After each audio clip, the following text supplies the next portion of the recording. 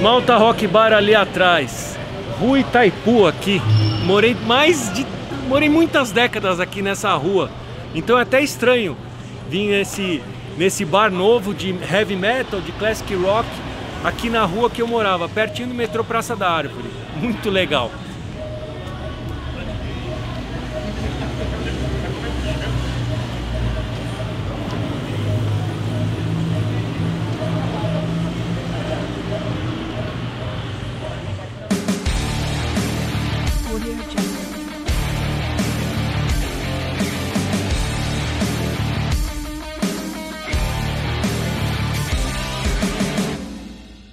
Estamos aqui no Malta Rock Bar, Rua Itaipu 13, perto do metrô Praça da Árvore, para um evento muito especial com o vocalista norte-americano Jeff Scott Soto, que veio para o Brasil a primeira vez 20 anos atrás. E a gente aqui na Road Crew sempre acompanhou a carreira do Soto e hoje ele vai fazer um evento em que ele vai contar fatos da carreira, como se fosse um workshop também, falando sobre técnicas vocais, contando história da vida dele.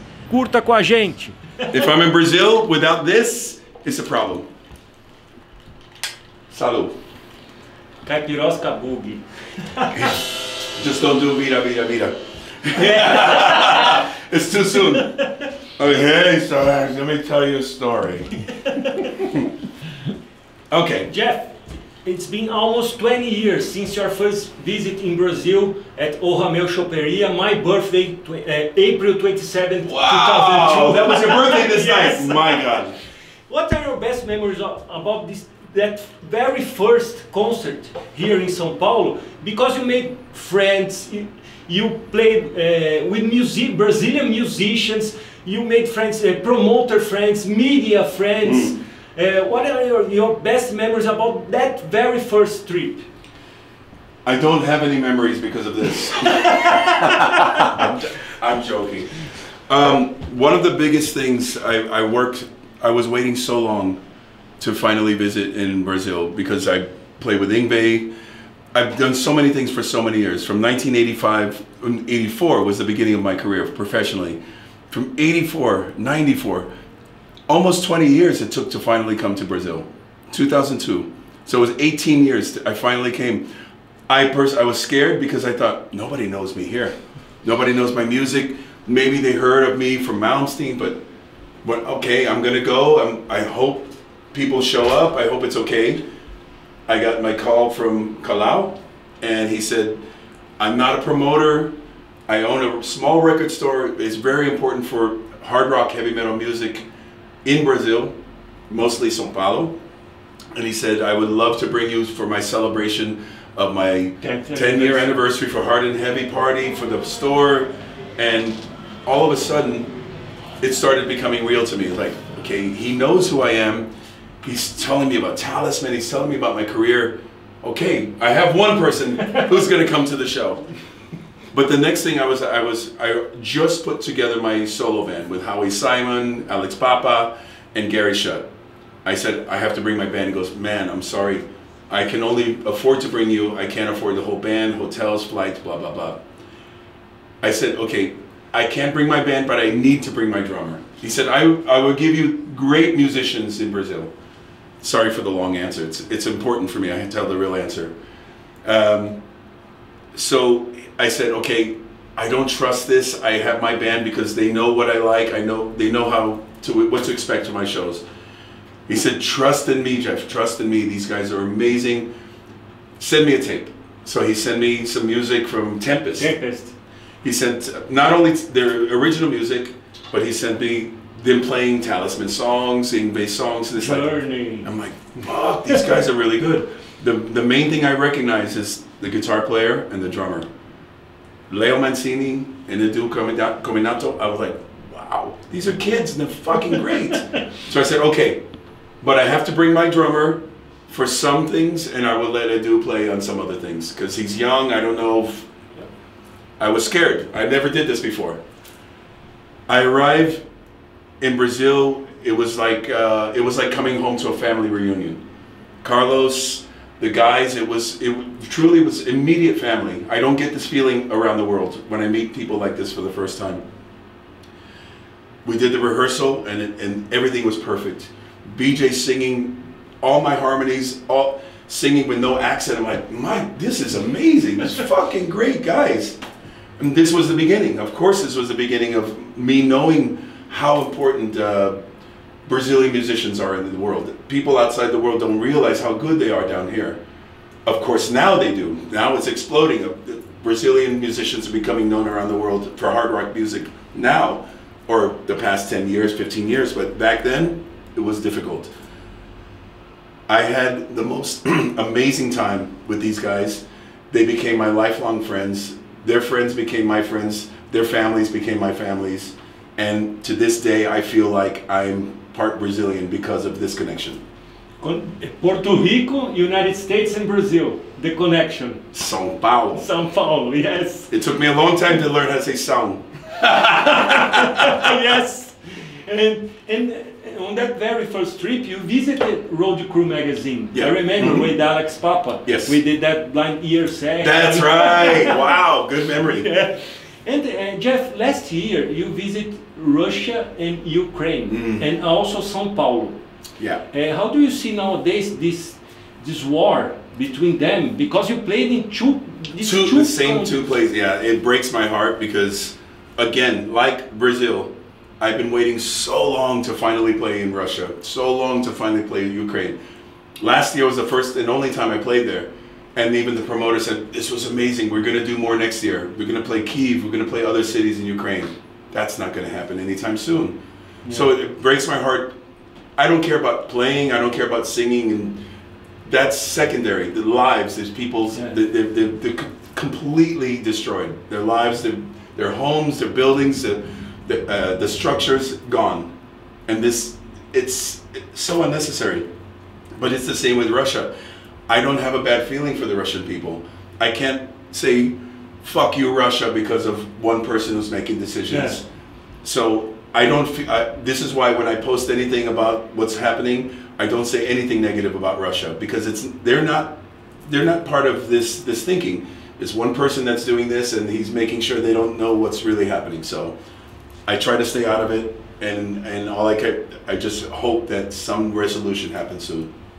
Me too. And last year, no, this year, you played Monsters of Rock Cruise. Yeah. I was there in uh, three years ago, two years Yeah, ago.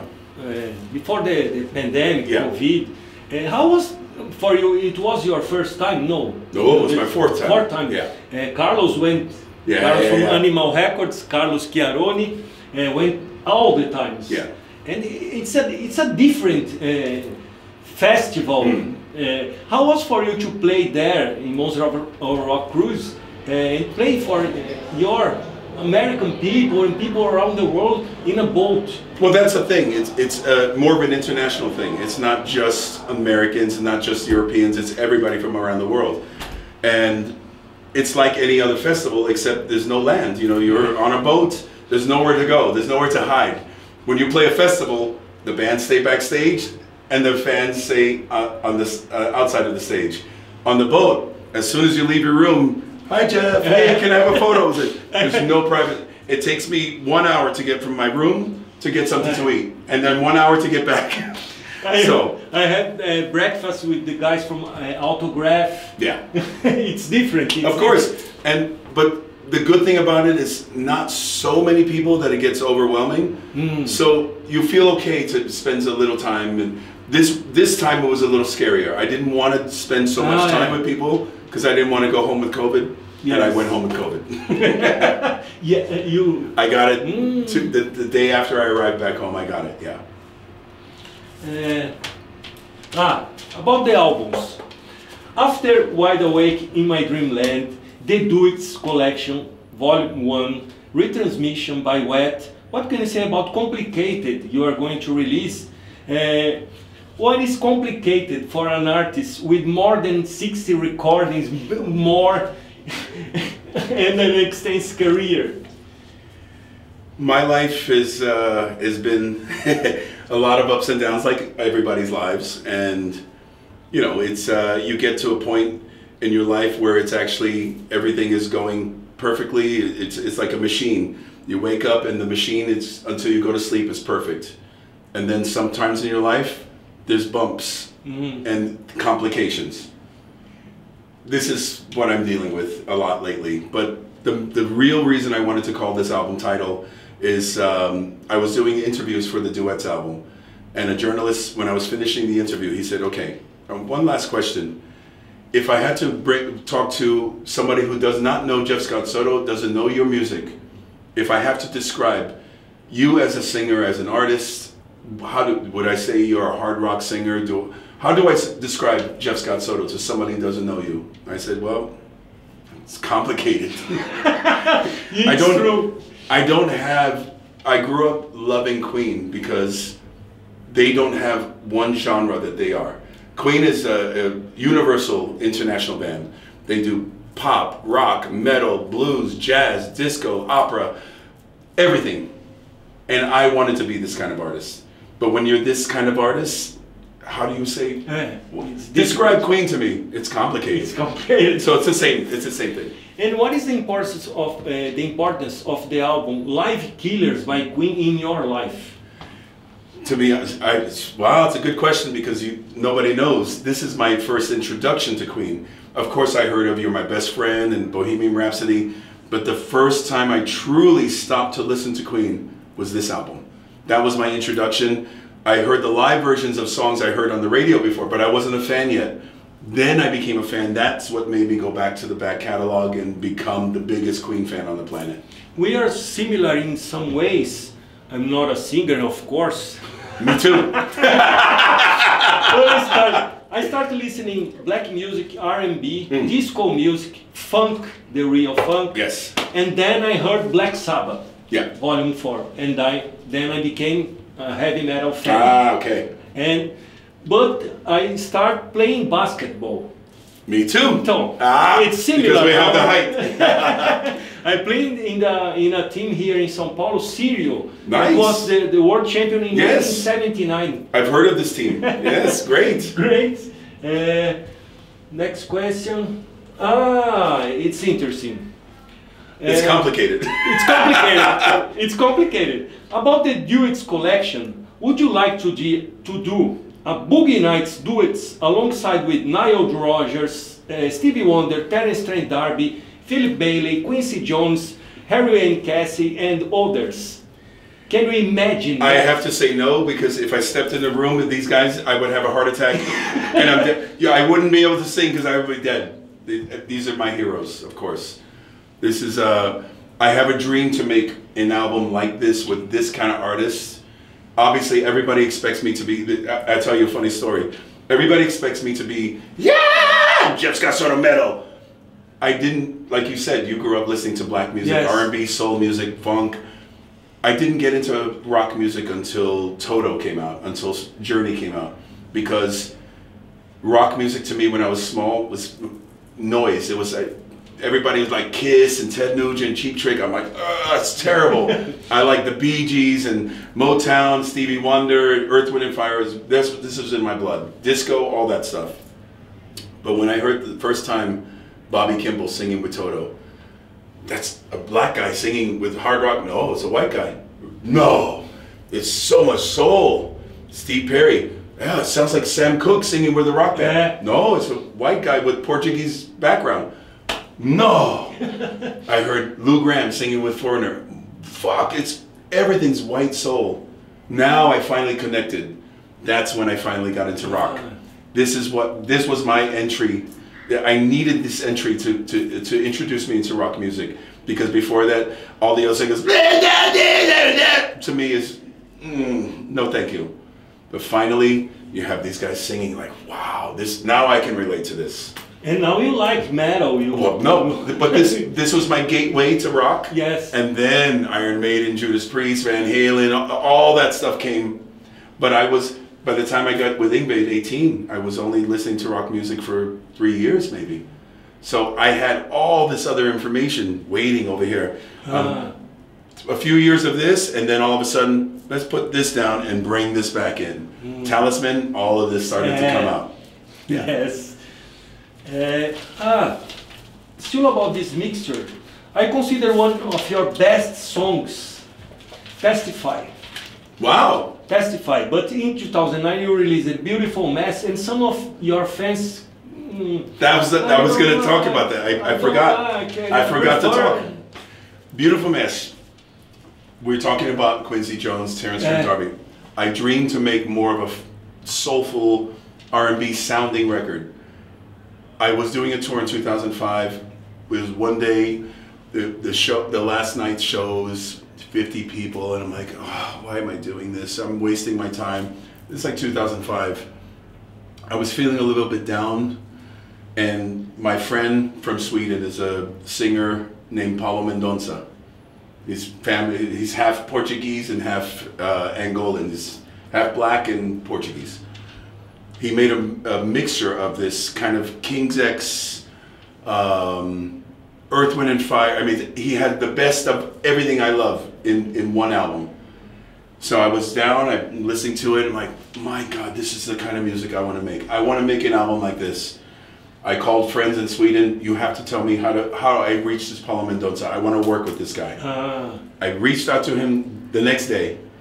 He, he replied, he said, I'll work with you anytime, any day. So we made plans. We made, we started meeting, we started writing, and we, we wrote, we did Beautiful Mess together. I knew my fans were going to say, it's not, I want Ingve, I want Talisman, this is Seal, this is Lenny Kravitz, it's not for me. This is the reason I called it Beautiful Mess, because I knew my fans would think this album is a mess. Mm. To me, it's a beautiful mess. Ju- speechless because testify. I heard uh, almost every uh, week. Yeah. I put to her. Wow. ah, Then take a and count, the guitar, Yeah. And the guitar. guitar. And so uh, swing. Yeah, yeah, yeah. And so the whole album was like this. Yeah.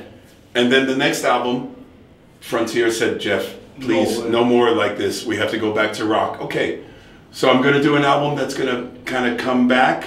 And I'm going to do Damage Control. It's a beautiful mess. That's why I call the album Damage Control. Uh, ah, to finish, Yes. we have uh, now we're going to have a dispute, uh, and you will choose and explain your choice, one or another. It's simple. Uh, It's complicated. Fair warning or the first Fair Boston warning. album. Fair warning. Fair warning. Yeah. No, no question.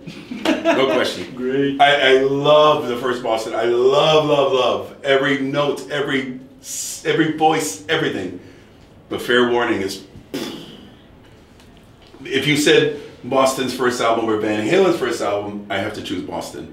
The fair warning is is my number one Van Halen album of all time. For me, it's Fair Warning in 1984. Ah, yeah. two that I consider nos. Uh, Eyes of Love or Skin on Skin. Ooh, skin on skin. And, and the only reason because I wrote Eyes of Love on the guitar, and I'm not a guitar player, but Skin on Skin is fucking great. Skin on Skin é do Talisman Talisman. e Eyes of Love é da carreira dele. People always say Beatles or Rolling Stones, Satisfaction or In My Life. In my life, in my life is the song I want to be played when I die. That's my, that's the song that has to be playing at my funeral. Queen or Journey. Mama, ooh. of course. Uh, Prince or Terence Trent D'Arby. Oh fuck you.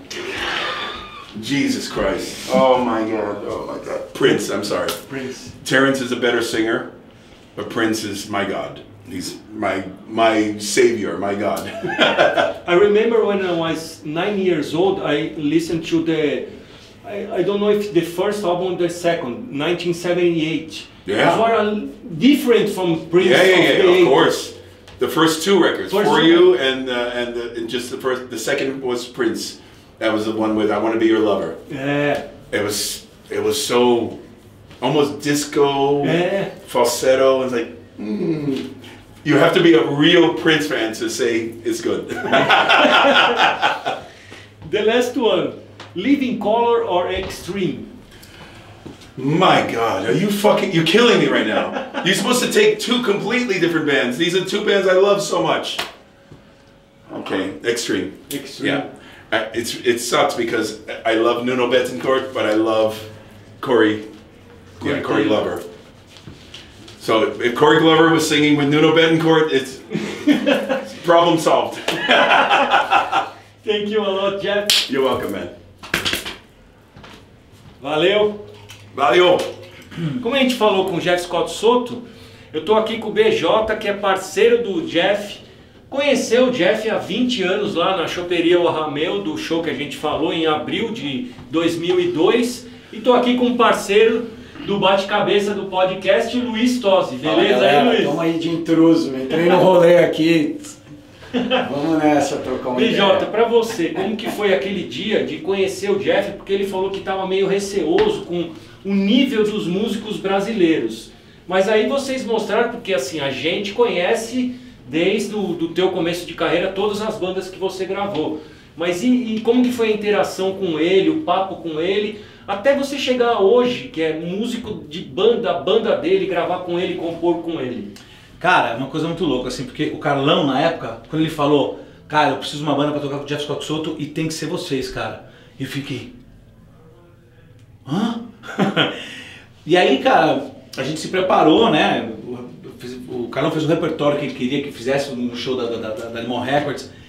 E aí a gente se preparou, eu lembro que ele mandou é, umas músicas pra ele ouvir e tal, a gente tocando. Quando ele chegou no ensaio, né? Primeiro a gente se cruzou na, na churrascaria, que é uma das paixões da vida do Jeff, né, e tal. E na churrascaria já rolou uma interação muito legal, ele já ficou mais tranquilo ali, porque já a gente começou a trocar uma ideia, e ele viu que todo mundo era legal pra caramba e tal. E ele é um cara, assim, cara, o cara é, é- é de família porto-riquenha, ele tem o lance latino, sabe? E aí, cara, quando a gente foi ensaiar, eu lembro que depois da primeira música, da primeira música, ele olhou pra gente e fez, uau, ele já curtiu, assim, né? Então a gente sentiu a segurança do cara, já dá aquela. E a gente era 20 anos mais jovens, né? Então, tipo, daquela coisa, aquela época, o frio na barriga era maior, assim, né? E aí, cara, assim, e o show foi sensacional, assim, marco, um dos marcos da minha vida. Eu tenho uma foto desse show, eu, e- eu e o Jeff um do lado do outro, assim, né? Eu tocando e tal, e cara, eu olho pra aquela foto e falo, cara, fazem 20 anos e eu era um moleque, moleque de tudo, assim. Depois daí, aconteceu muita coisa, né? Ele veio depois, em 2004, de novo, ele veio com a banda, a gente, aí a gente fez- teve aquele show Tempest, Rich Cotton e, e Jeff Scott Soto Band, né? Que aí ele já veio com, com a banda do, do- do- do- a banda dele, dos americanos e tal.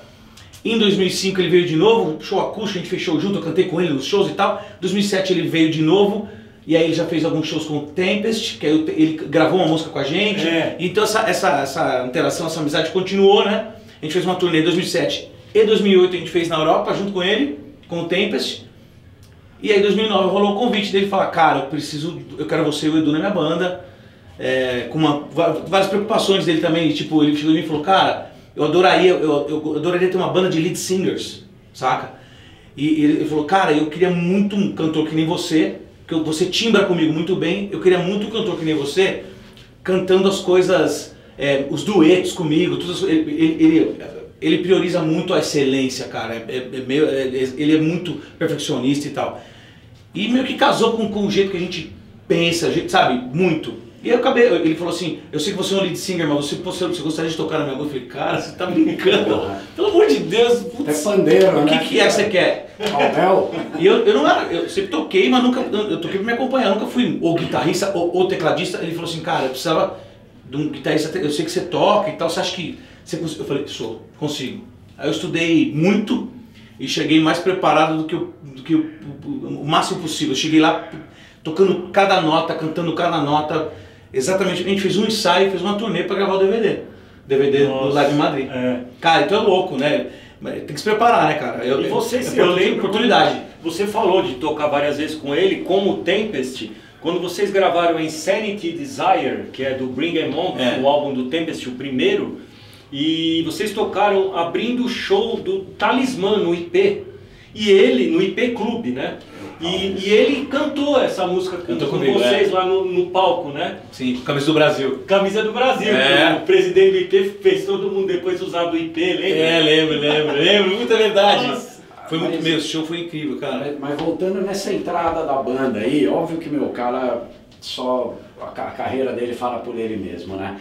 Mas voltando lá 2002, quando quando começou essa parceria, qual que era a sua imagem de Malmsteen? Quão fã você de Malmsteen, não, perdão, de, de Jeff Scott Soto como como cantor e de Malmsteen? Você já tinha uma correlação, já tinha uma coisa, era fã mesmo, tipo, puta que pariu, vou tocar com o cara ou era curto, mas na real aqui é. Quão Não, fã era. era antes do, do Eu era, cara, eu era assim, eu, eu me lembro muito bem, o, o meu, Lucas, eu lembro, eu lembro do Dadá, 92, que um moleque, criança, eu, eu na casa dele, ele falou, cara, você conhece o Jeff Scott Soto?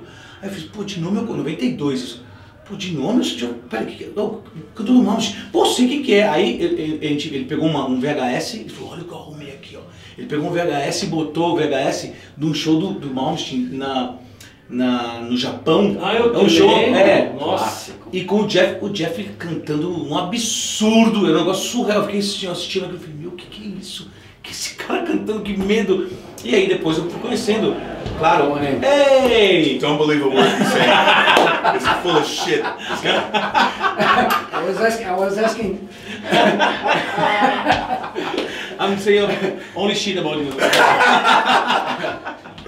he was he, he first asked about when when BJ joined your band. Yeah. And I was asking him truly how much of a fan were you before that? He much- hated me. And, and I wanted to know, you know, and, I'm still- telling how, how much it was a fiction uh, for for you know uh, moms, you know, your career during the eighties. Well, I did my interview already, Yeah. but as I already said when we were talking uh, talking about my first time coming to São Paulo and meeting BJ, the, the, the level of musicianship was amazing already, and then his voice, I knew this was going to be great shows. But what I didn't realize then is this guy and the other guys in my band were going to be such an important part of my life. So now I'm going to cry. Same here, man. No, no, no, finish. I, am so great, grateful for that, and he knows, uh, you know. n- In Portuguese? in Por- não, não. No, no, no. I, I can understand. Agora, agora eu, assim, eu conhecia, eu era fã do cara, sempre fui. Aí eu tive oportunidade, uma oportunidade de ouro incrível que ele me deu. É, eu também tenho mérito nisso, mas ele foi muito incrível nisso. E depois eu conheci a pessoa do cara, que aí, bi- bicho, aí, aí faz um negócio assim, ó. que- e aí, porra, ele é meu amigo de vida, cara, de verdade, assim, pra mim é um encontro de almas. Sem, sem brincadeira, é uma coisa muito foda, assim. Ele acredita muito no meu trabalho, todas as oportunidades que, que ele me deu, ah, de quando, ah, quando a gente virou Soto, que as coisas ficaram mais difíceis de tocar, ele falou assim, cara, eu não sei se você está confortável porque você é um guitarrista. Hoje você é guitarrista, porque hoje eu posso falar que eu sou guitarrista sim, mas é, é, você não é um guitarrista que tem essas- esses skills meio de prog, as coisas meio di- difíceis de tocar. E eu falei, cara, me dá uma semana que eu vou, eu vou te dar essa resposta. E aí eu fui estudei. I don't know if you know that, but Yeah. when you asked me Yeah. to, to play those songs from Soto, the first ones that that Yeah. very hard to play. So. I was, I asked you, give me, give me some days, and I, I, I got three days working on the songs, twelve hours With Leo or on your own? with Leo, and on my on my own, twelve hours. Now I know the songs. Okay, I have some videos. Okay, and I, I, man, it, it was crazy. But I said I, I need to know that I, I'll be, uh, I'm, I must be good. Yeah. As this band that is so fucking good, I must be really good. Yeah, yeah. And I, you know, and I sent him some His videos. level went like this. Wow. It's amazing because as he, I know he's a great singer, but he's like me. He he's a great singer. I'm not a great singer. He's a great singer, but he can play guitar. He can play keys. He can play bass. I'm the same. I can play little here and there. I can fake it. I can get through it, but I'm not a musician. I'm a singer. BJ, he has more experience as a, playing music on guitar, piano, whatever. But he knew this was going to be. He was he was going to need to rise above. Yeah. The normal levels where he normally was playing, he said he said yes to being in the band Soto. The only way he knew he could stay in this band is he had to rise, and he did. He went like this. So I work so fucking hard. I know you did, and this is why some things maybe didn't sound as natural as Jorge Salan or Yeah. Bumblefoot. These guys are naturals doing this. Yeah. Some things weren't so natural for him because he's not playing like this since he's 16 years old. But he rose so fast in his skills, and then by the time we were on tour, boom, the band was alive.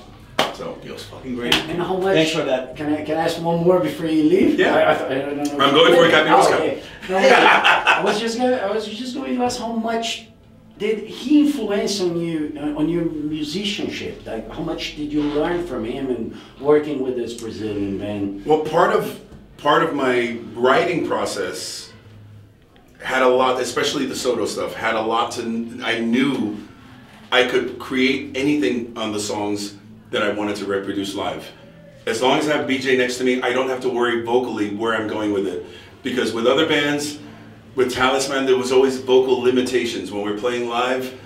The backing vocals were okay, but the, in the studio, the backing vocals were so prominent. I did so much stacking and, and great harmony work, but live it was. Mm, knowing BJ was he has my back. It's it's a, it's it's a joke I make all the time. Michael Jackson always looked over his shoulder, and he had his brother Jermaine. I look over my shoulder. I have my brother BJ. It's the same thing. So when we're creating the Soto stuff, I know I can do anything I want because he's going to be able to reproduce it live with me. Just a, a testimonial, as we are in a Road Crew magazine YouTube Right. channel, uh, two artists, musicians helped me when I wrote the background section of Road Crew magazine, in which we wrote uh, the whole career of a band and an artist. Jeff Scott Soto and Tom Angel Hipper from Sodom. Right. Only two helped Wow. me. I sent you an I email. remember. Remember? I It's sent you an email. amazing. No, this is what he told me the story of his life. Hmm. And only two. Roddy Cruz from 1996, Right. and just you and the guy from Sodom. Wow. Sodom Soto, almost the same. okay, I'm gonna go drink. I'll be next one. Aí foi a, uma pequena invasão na nossa conversa aqui. Legal demais, né? Legal demais. É, cara, é- é- a gente tem uma relação foda mesmo, assim, de, de, de brother. A gente já brigou, já. E, e- e se resolve em 30 segundos, né? Mas é porque também a gente trabalha junto e trabalha duro, né, cara? É, ele, é, ele, ele é perfeccionista pra cacete, eu também sou, a gente tem essa. É, isso, isso é uma coisa que, sabe, é, se vincula demais, assim, sabe? E, e a gente. é, e o lance da amizade, de se gostar, é muito de verdade, você sabe, você vê É isso. verdade. Então, então isso que é muito legal, é. porque isso, isso faz toda a diferença quando você está tocando, cara, você está ali ao vivo. Faz toda a diferença. Um olhar porque- você já sabe tudo, Sim. né? E a energia que você passa, cara, que quando você tá tocando, fazendo um som, a, a galera sente, não tem como, cara. Não tem como. Mesmo um dia que eu- que a gente fala assim, né, na turnê, porra, faz muito show. Tem dia que a gente fala assim, puta, hoje não foi então, né, meu? Hoje não sei, hoje não dá. Putz, você vê a galera na- no meet and greet depois do show. Meu Deus, eu não achou que foi na minha vez. Você fala, sério? Porque a gente às vezes não tem muita é referência. única, né? É, Porque é. os caras, por exemplo, a gente aqui no Brasil sabe, meu, da sua competência como vocalista, meu. I'm so sorry, I'm so sorry. Journey cover, Journey tri tribute. Hold this. I'm so sorry. No problem, man. This is the next. Oh. This is the next level. Oh my God. This is. oh, sorry. This is very important. This is the next level. We have this thing with this capirosca with ginger. Oh. No, no, no, no, no, no, no, no. Go for it. Watch the face. You, you get the reaction. The first reaction on the video.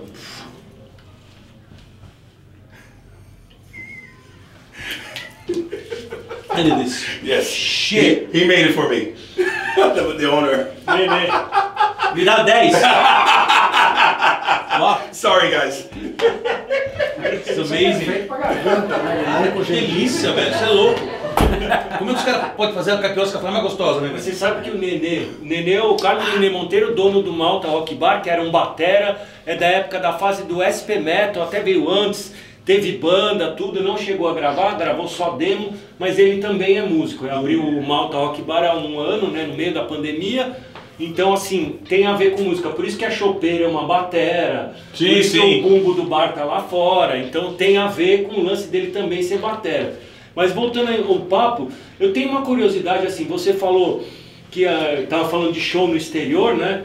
E tem um lance assim, o pessoal que vê você, o, o Jeff mesmo falou de harmonias vocais tal, você é um puta de um vocalista, tal, um dos melhores do Brasil, mas assim, os gringos, por exemplo, a gente vê o White Snake, nossa, esse tecladista podia ser um vocal. Ele é. Mas lá fora já aconteceu do- dos caras assim, as pessoas não sabiam que você era um, um lead vocals, um vocalista, né? Um cantor, e fala assim, meu, como esse cara guitarra base e tecladista canta tanto?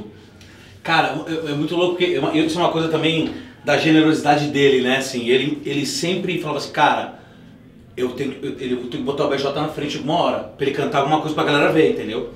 Então, vira e mexe, ele sempre pensava numa música, pra pelo menos um trecho eu pegar o microfone lá na frente e cantar. É. Para as pessoas estão olhando falam, pô, então era a voz dele que eu tava ouvindo, que às vezes não. não, não, né, não- No mix, no... E é. E aí, assim, cara, aconteceu isso muitas vezes, cara. E uma das vezes que foi muito, muito legal foi que. Pô, conheço os caras do Taiketo, né, cara? Danny Vaughan, que é um, um cara espetacular, sabe? Um cara incrível. Tipo, que nem o Jeff, sabe? Esses caras generosos, é, bacana, conheci cantor, no sensacional. 2020. Puta, o Danny é fantástico. E aí, pô, o show, eu lembro que a gente tava no Mork 2017, talvez 16, 17. E aí eu lembro, eu já, já, era, já tava próximo, mais próximo do Danny, porque, eu- porque eu gravei é, no, no, no disco acústico, eu gravei a Forever Young. É. E eu, mostrei, eu- eu conheci ele em 2013 e dei um CD pra ele. E aí eu dei pra ele pronto o CD. E aí, cara, ele foi atrás de mim pra falar comigo. Ele foi atrás do dia e falou, cara, você tem um contato do BJ. Cara, ele ouviu o CD e falou, cara, é a melhor versão que- de Forever Young que eu já ouvi. Olha. Pô, eu fiquei bom feliz pra caramba, Nossa. porque eu fiz um CD pra homenagear meus heróis e o Danny é um dos caras que, puta. E aí o Danny foi, a gente tava tocando no teatro do navio, né, voltando pro Mork. E aí o Jeff sempre colocava eu pra cantar Don't Stop Believing. É. Ele fazia uma piada com aquele, eu não canto mais Journey, ele fazia uma piada e ele, ele jo- jogava o microfone pra mim e ele, ele tocava, ele ia pro teclado e tocava Stop Believing e eu cantava até, o- até, sei lá, menos da metade da música, mas eu cantava.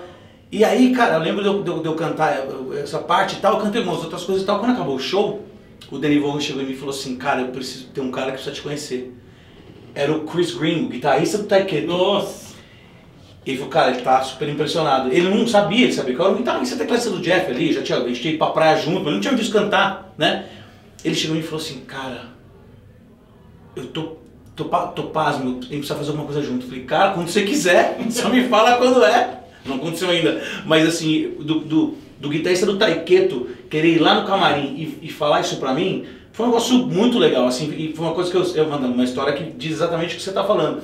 Que um cara, pessoas que se surpreendem porque eu sou, na verdade, eu sou um vocalista. É. As pessoas falam, que nem você falou, pô, você é muito instrumentista. Você falou, putz, eu, eu posso, eu sou, assim, eu sou um vocalista, que nem ele falou, sou um vocalista que toco, toco piano, toco, não sou guitarrista desde os 16 anos de idade, eu sou cantor, só que eu, eu toco, eu, né, eu, eu, eu, eu sempre, sempre me acompanhei e aí fui me aprimorando, estudando, estudando, estudando. Para a primeira turnê do Jeff, de 2009, eu me preparei quase quatro meses, cara.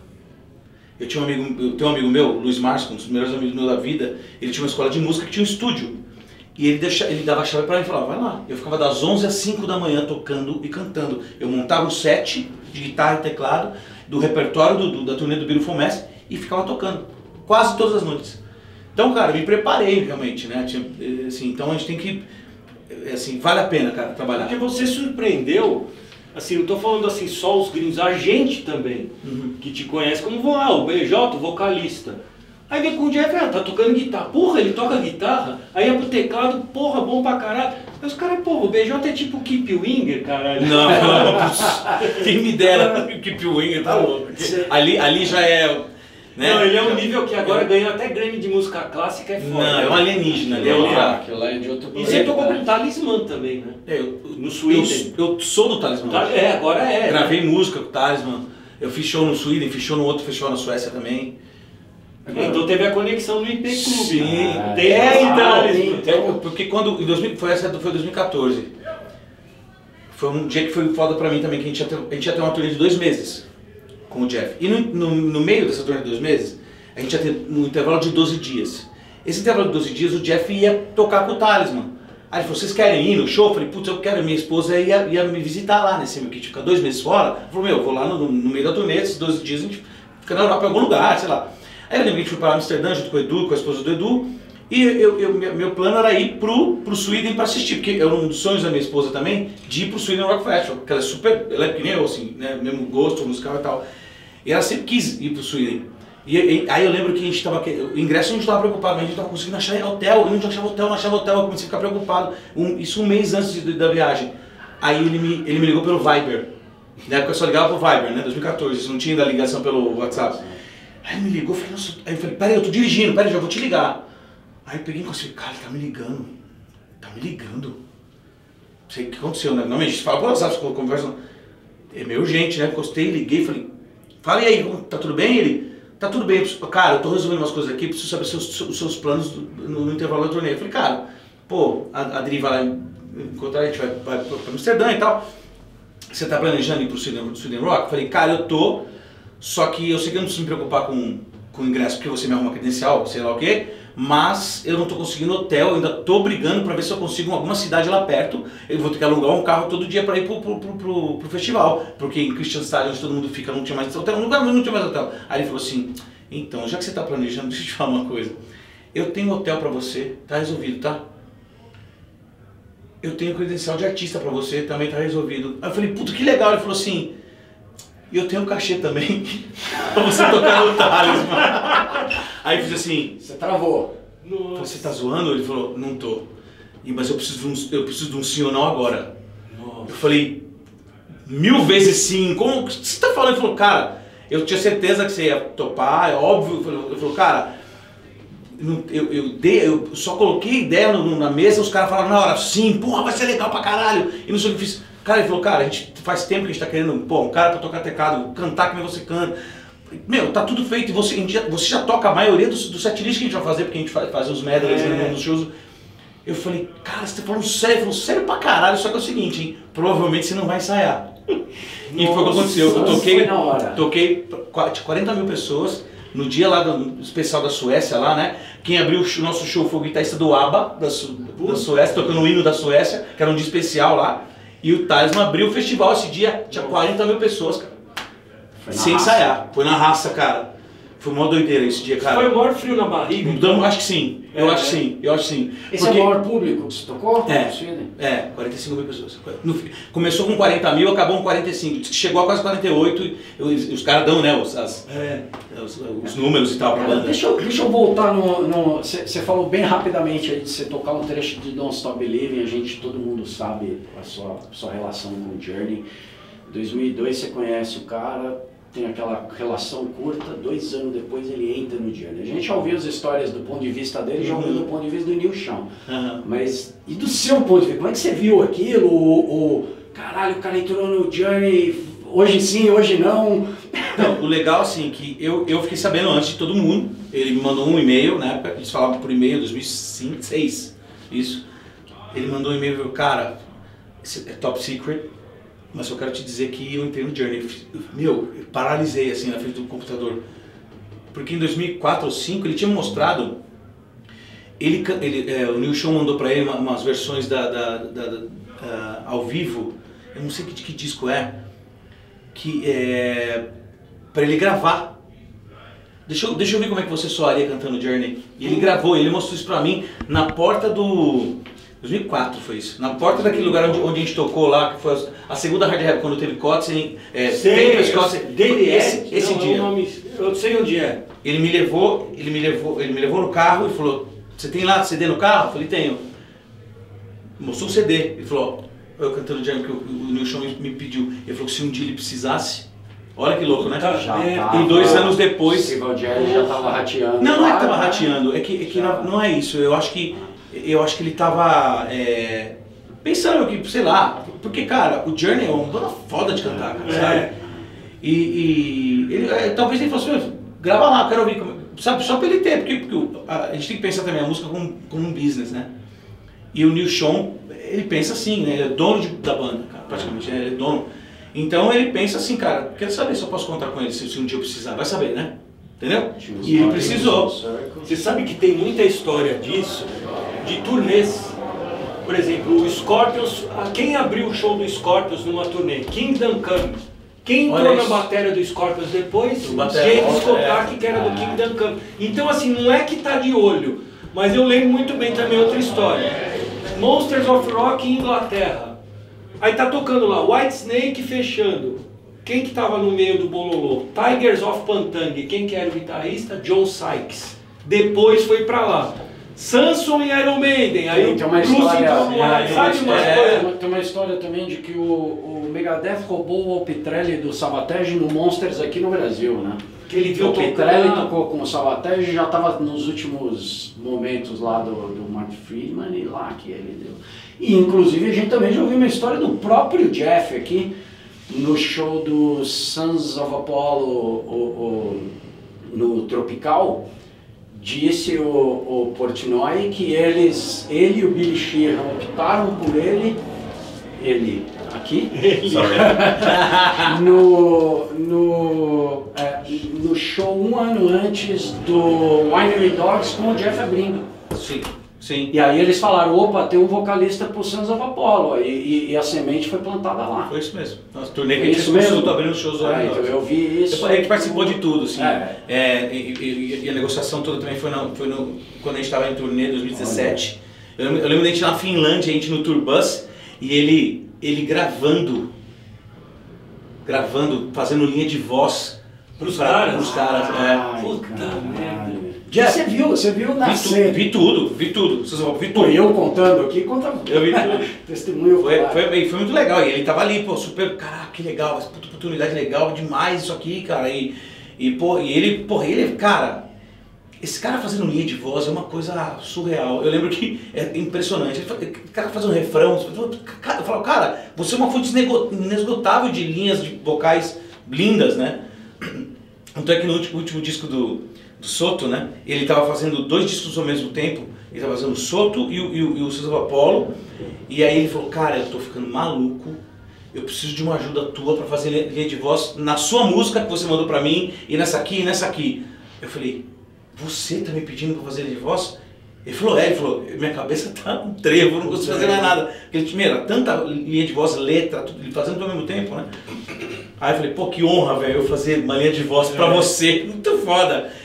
E aí, cara, é, é, é, o trabalho é muito louco, né, cara? Ele, ele é um workaholic, assim. Nossa, pelo número absurdo. de gravações, de tudo, inclusive até falando da, da sua carreira mesmo, assim, de com brasileiros, é o Spectra agora, que ele ajudou, ele Sim. tem backing dele que dá pra escutar a voz dele. É. Não é aqueles backing que, por exemplo, o Souto fez backing do, do Striper. Eu não escuto a voz dele no É. Striper, no Against the Law.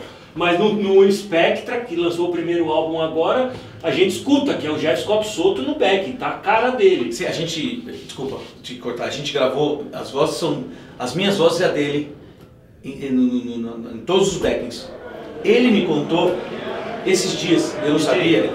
Então, eu, eu- ele, ele me falou esses dias, eu nem, eu, nem fiquei, prestei tanta atenção assim, mas ele me falou esses dias que tem algumas, algumas vozes lá também que o próprio Alessandro Del Vecchio gravou. Eu falei, mas me fala que música?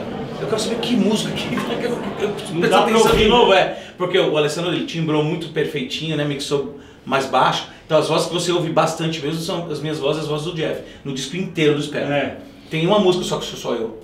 E tem uma coisa assim que eu achei. Eu coloquei na minha resenha, não sei se você ficou bravo ou não, porque assim, quando ele lançou o primeiro álbum do Tempest, aí a gente foi ouvir, eu falei, porra, mas passou a vida inteira tocando a hora e eu escuto meio prog metal. Tinha a hora, mas era mais prog. Aí quando eu vi o Spectre, eu falei, puta, é isso que eu queria ter escutado do Tempest Aham. naquela Aham, época. é, é. Alguém te falou esse tipo de coisa? Sim, sim, sim. Tinha muita gente, na verdade, porque o Tempest era, era uma, ah, antes da gravação do, do álbum mesmo, a gente gravou um EP e tinha quatro músicas que estão no disco, né? Que, no, no Bring Em On. Só que eram, é, é, é, elas estão diferentes do disco. Porque na, na época que a gente gravou o EP, a gente estava mais hardeiro, assim, É, mais tava mais hard. É, quando a gente foi fazer. Isso foi tudo contra mim, cara, na verdade. Porque eu É sempre do Léo, a é, é, muito, é muito, era muito Léo Paulinho. É. Até o Edu, né? Sabe?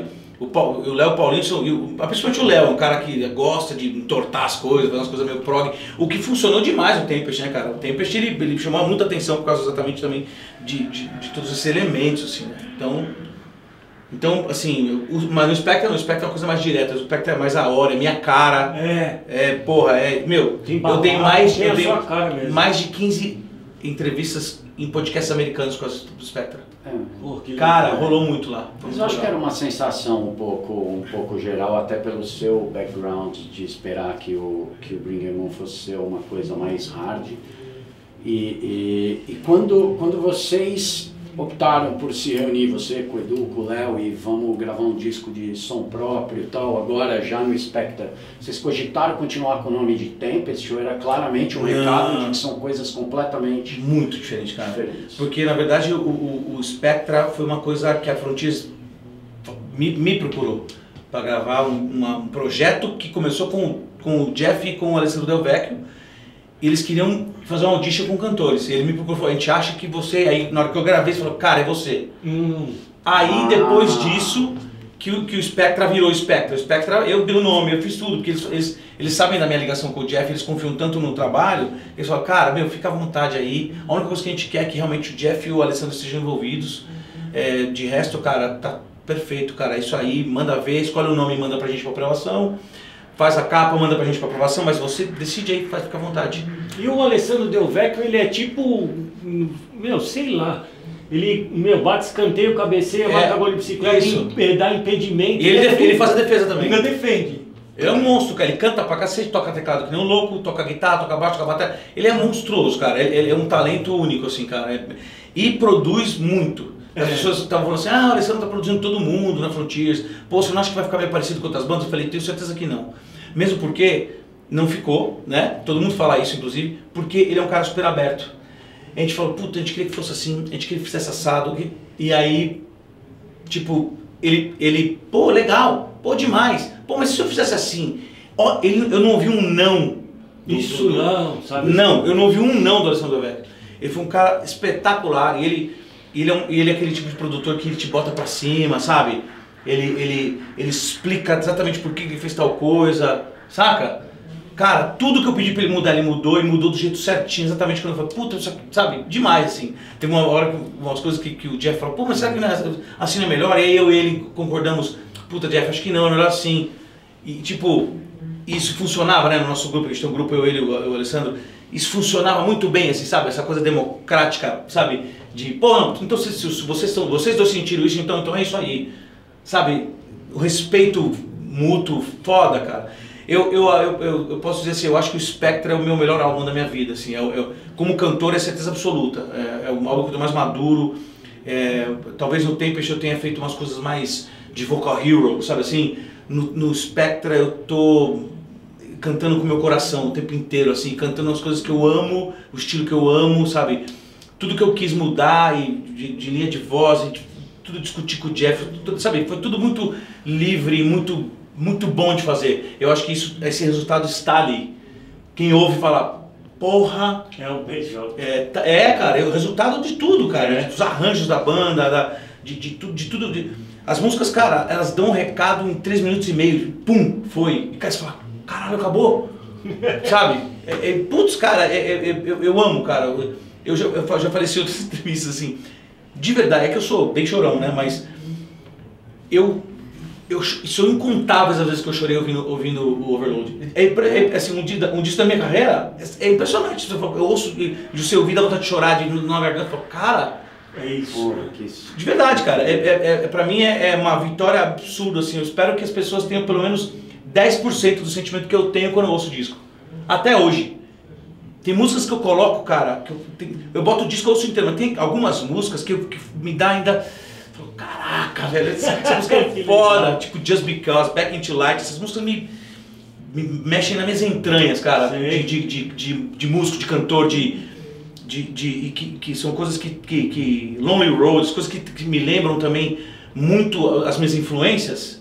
E tem uma roupa- roupagem muito moderna também. Então te- tem o pé lá, mas tem o pé aqui também, né? Sim. Aquele cara que vai ficar. que o disco é datado. Não é, cara. Não é mesmo? Ouve, Não, ouve o disco, é moderno, É uma, é é uma- moderno e, e ao mesmo tempo ele remete a muitas. Exatamente, os anos 80, o A Hora, aquela- Isso. as bandas daquela época, sabe? O Boston, o, o Journey, o Toto, É. o, o Triumph.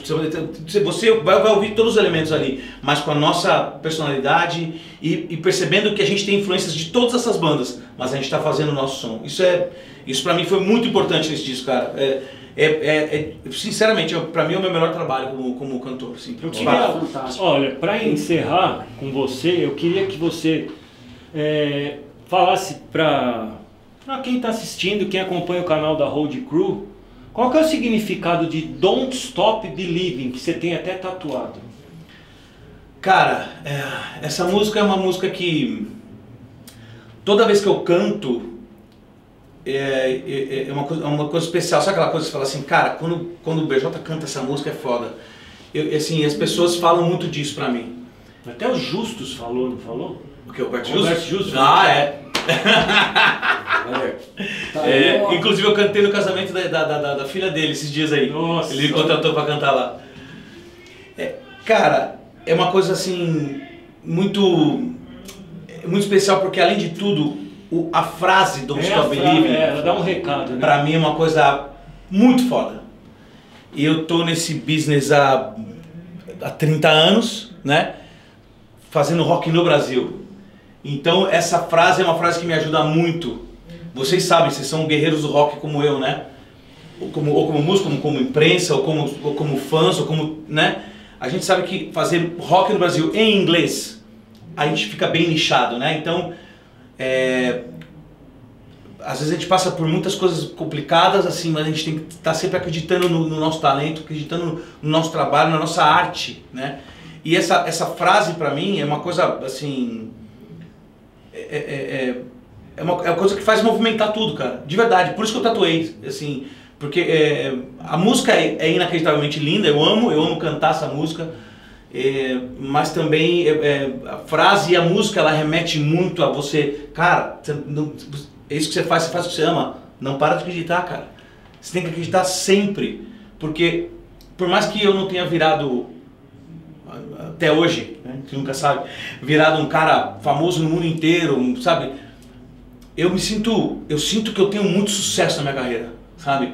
É, eu tô, eu tô num- numa posição assim que a gente tem que sempre trabalhar para manter, né? Mas eu tô numa posição muito legal assim que quando eu acho que quando eu era moleque eu não imaginava que eu ia chegar, de ter o respeito dos meus heróis, de tocar com um dos meus heróis, de, de ter de ter o respeito meu, de ter o de ter o Kip Winger me chamando para cantar com ele todas as vezes que ele me encontra, de ter o fui no, no Mork agora, cara, o carinho que o Kip me trata, sabe? Ele cantou com a gente, né, no show. E aí ele chegou em mim e falou, pô, você, você canta muito sempre, né, cara? Você tá sempre bem. Eu falei, meu, caralho, tava demais. Se eu visse o Keep Winger, velho, Foda. ele não sabe. Mas, porra, cara, pra mim é uma coisa muito foda. Eu já tive coisas muito legais com ele. Já cantei com o Winger, né? Dele, ele chamar a gente pra, tocar, eu, eu e o Léo. E, caras generosos, né? Caras foda, assim. De, de vários outros caras, cara. Assim, de eu ter cantado e, e os, e os caras, eles não têm melindre, né, cara? Aham. Os caras são tão foda. Eles não precisam ter melindre. Eles, eles querem elogiar. Cara, tava do caralho. São fãs acima de tudo, né? Não, Muito no- bom no você Mork a gente que o cara vê isso. O, o, o Batalha falou que era a última pergunta, mas você, pegou um gancho aí sobre fazer metal e esse reconhecimento fora. Cara, eu acho que a gente está passando um, um momento que você ajudou muito a abrir portas. Mas se a gente for falar só da Frontiers, eu pelo menos me lembro de ver uma onda de vocalistas brasileiros ganhando espaço lá Sim. fora, porque ó, além de você, a gente tem né, o próprio Alírio, que, que porra, puta, também abraçado pela Frontier. Nando, o, o, Renan. O, o Renan do Elétrica agora junto no Skills com o Brad Gilley e o, e o, e o Billy Sheehan. O, o, o Gui, né, do Landfall, gravou um Landfall. disco, o Mayank, com, com, que é com o guitarrista do Perfect Plan, que é um descasso. É, Não sei se vocês ouviram esse disco. Já ouvi, já Também ouvi. na linha... Pô, Gui canta muito, é muito legal, é muito coisa legal. linda, um puta disco. Cara, bem os brazucas Vocês estão apavorando. Uma porta, vocês estão trilhando um caminho, cara, que...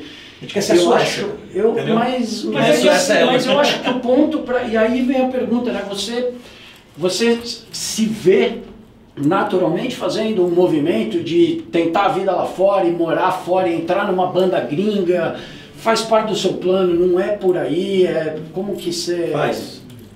Quase, já, já quase rolou. É, eu acho que.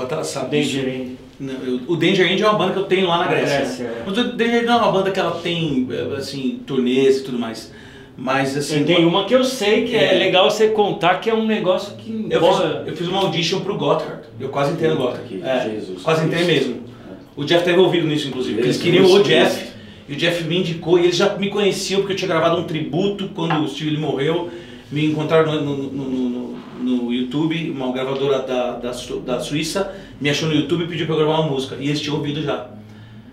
E aí, cara, resumindo, que é uma história bem longa, eu gravei. E o cara, o, o, o, empresário, o Ian Baiá, ele ia estar aqui com o Halloween, né? Que ele é empresário do Halloween também. Aí ele marcou um jantar assim, comigo, eu fui, tive uma reunião com ele. Ele falou que eu estava entre os 10, ele queria saber umas coisas de mim, não sei o que e tal.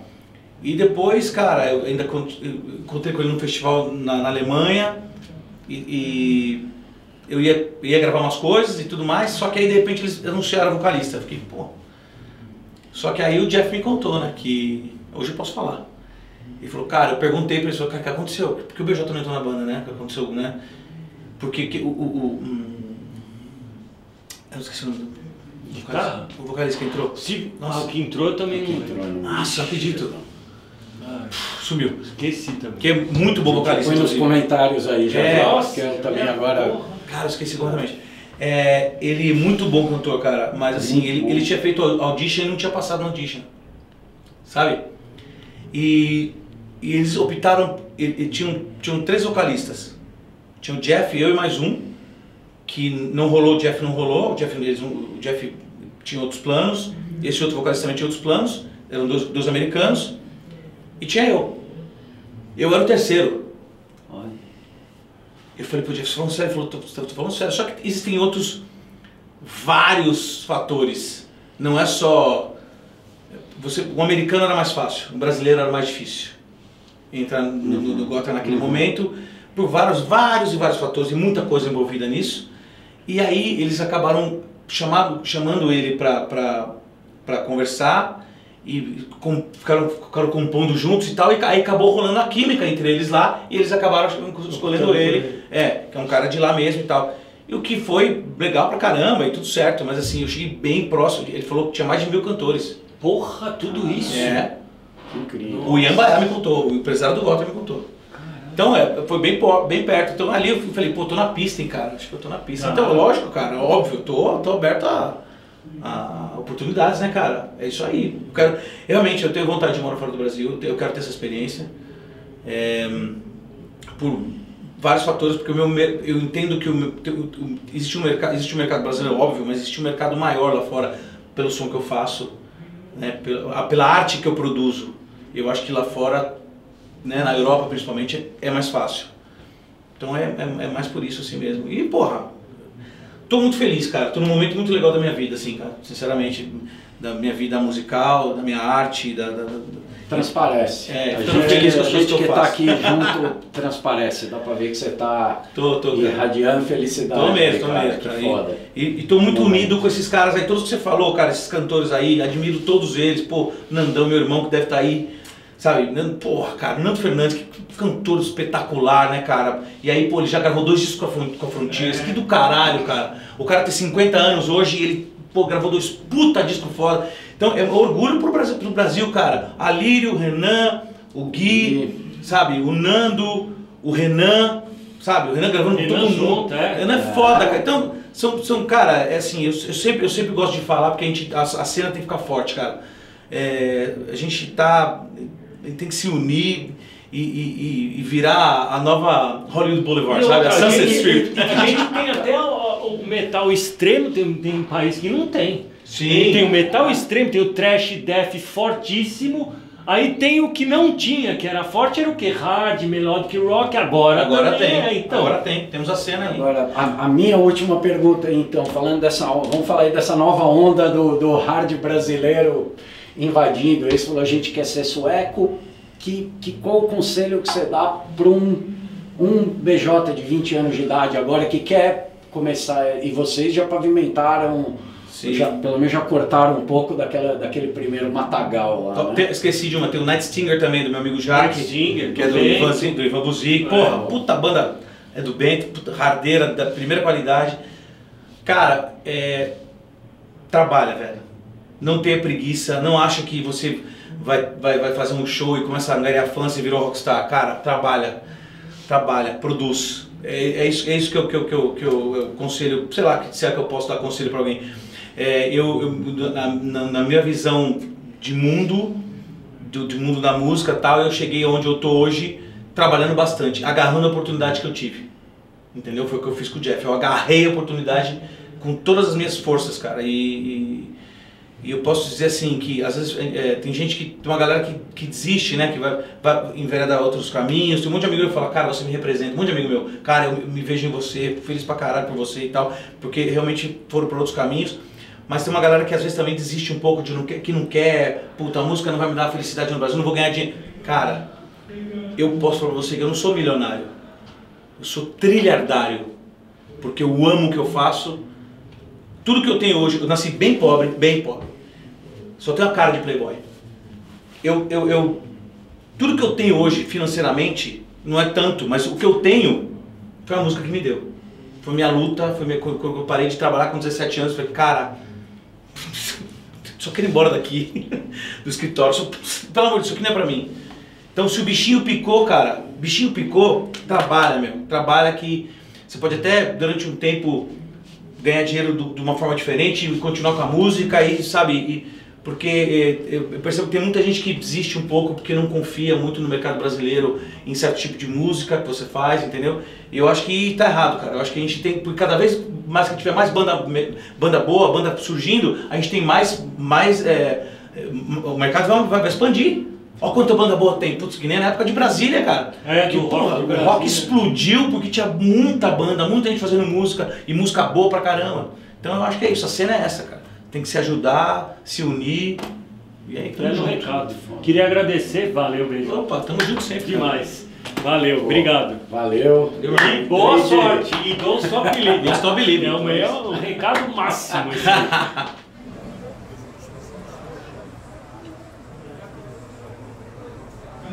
You have to teach your dog how to shit outside and not inside.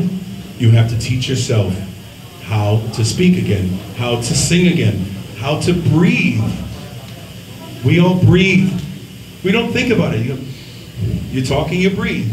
It's different with the singer. You have to learn things that you didn't know before.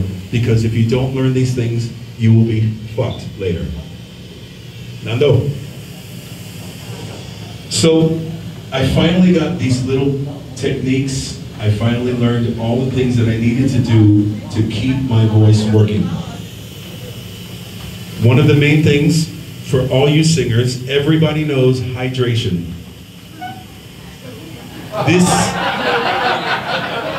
this is not hydration, this is dehydration. But this in Brazil for me is like blood. I need this to survive when I come to Brazil. So it's not. Ah! Don't start this shit now. Hydration is so important, and it's not just water. I learned much later so many different, so many different things that you can do to hydrate yourself. Because for me, I, it's always the same thing. Water is so boring. I hate water. I, I get more thirsty when I drink water. It's the craziest thing. Agua de Coco is the best hydrator on the planet. I used to be Gatorade, and as soon as I discovered coconut water is the best way to stay hydrated because you have potassium, and you have, it, it's like, it's like uh, water with Bluetooth. so hydration is the most important thing pneumonia. I, I never had pneumonia in my life, so I didn't know what the symptoms were. I didn't know what the, the feeling was. I just know I couldn't stop coughing. And the coughing was really, really removing my voice. You sing, your voice goes away. But when you're coughing, it's like singing 10 shows and you have nothing. And I remember even prednisone, the only thing that helps me get through, even that wasn't working. And by the time we played in Pittsburgh, Pennsylvania, and BJ's like, my God, my God, I never heard you so bad before. How are you going to sing? I said, I have to try. One thing I don't do is I don't make excuses. I was, I told the audience at the very beginning, I said, I'm sorry everybody, I want to give you 100% of me, but tonight 100% is going to be more like 30%. They understood the only chance I have is cancel the show or sing it the way I can sing it. I gave everything I had left, and even these guys couldn't believe that I could make sing one song, but I made the whole show. We had to remove a couple shows. It's impossible.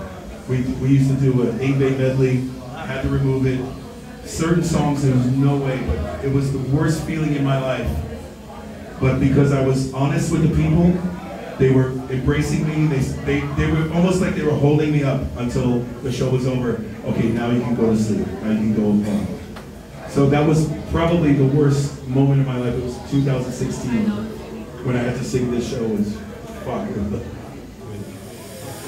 And I said, man, write me a couple songs. I, I want to put BJ's voice, something that we write together. Forget what BJ's doing, forget what he's doing with Leo. I want to try and experiment. We write a song, I'm going to demo it, I'm going to sing it, I write the lyrics, and then I'm going to put BJ's voice on it. I'm going to try one more thing. We had two songs. I played to BJ, goes, fuck, man, these songs are great, I want to sing. Take them home, learn them, and sing them. BJ sent me the vocals to these two songs. I said to Frontiers, come on, please, come on, motherfucker. You got this, come on. Hey, Jeff, we want to sign Spectra.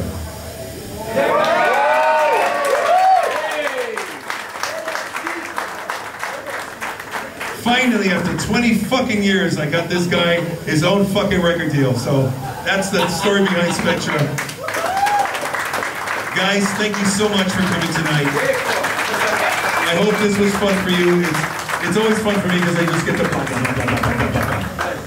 Now we're finished. I want to come and take some photos and say hello because like I said, this is for you. This is intimate. I don't get to do this after every show because it's impossible. But there's so few people, I think we can do this. But thank you. Obrigado.